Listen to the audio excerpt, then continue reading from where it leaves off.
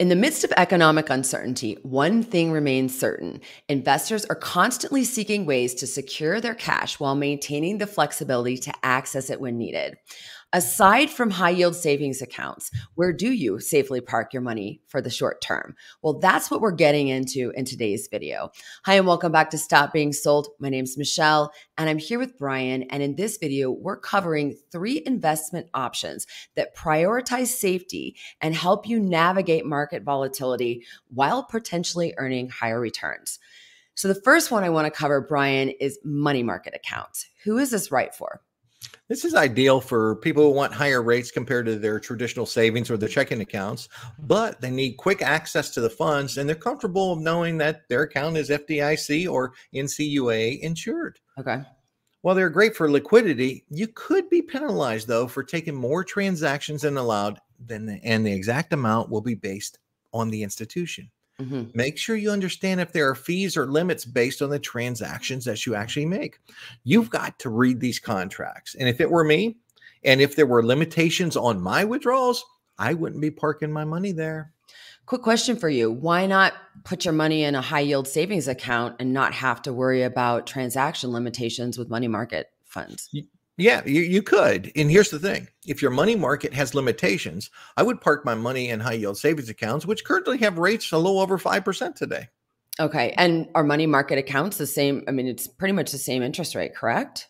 Virtually uh, real close to the same, depending on the institution right now. Make sure you shop around. So.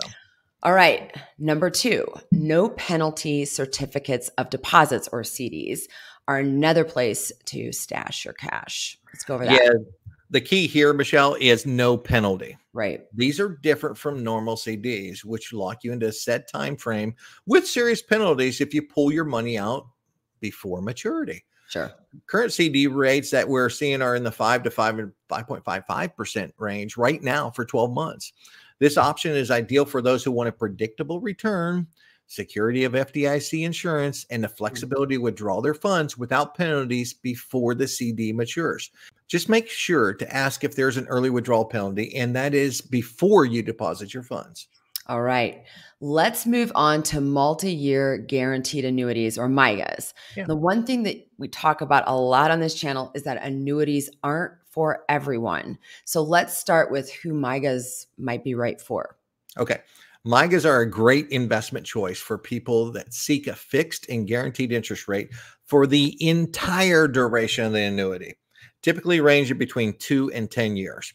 Yeah. MYGAs may offer higher interest rates compared to other accounts mentioned here. Like right now, I'm seeing 6% guaranteed for three years. Hmm. And a big plus, your principal is protected. MYGAs okay. might be right for you if you're comfortable with a longer commitment period you want a fixed rate and a guaranteed interest rate, and you're looking for a low risk option with potential for slightly higher returns than standard savings accounts today. Sorry, I jumped in there and interrupted you, but a quick question. You mentioned, you know, entire duration of the annuity. The one thing that I think people really need to understand is when you break that contract, it can get super expensive quick. Yeah, you got the early withdrawal penalties. And uh, if you surrender the contract early, there are pretty substantial penalties. Depending on the state you go in, Michelle, it could be up to 7 to 10% in penalties. Yeah.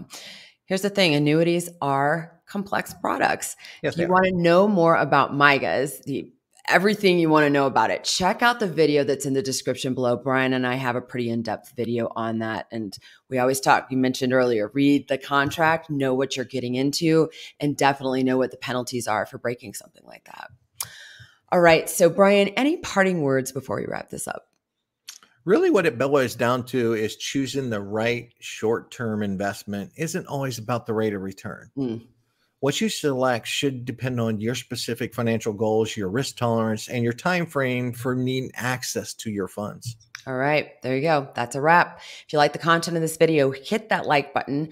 Don't forget to subscribe. And Brian, thank you so much for this. And as always, thanks to everyone who watched. Thanks, everyone. Have a great day.